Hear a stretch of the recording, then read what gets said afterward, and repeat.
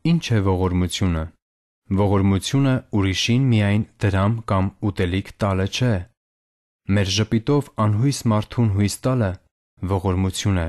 Սուգի մեջ եղողին Տիրոջ ուրախությունը փոխանցելը ողորմություն է։ Գայթակղածը վերականգնելը ողորմություն է։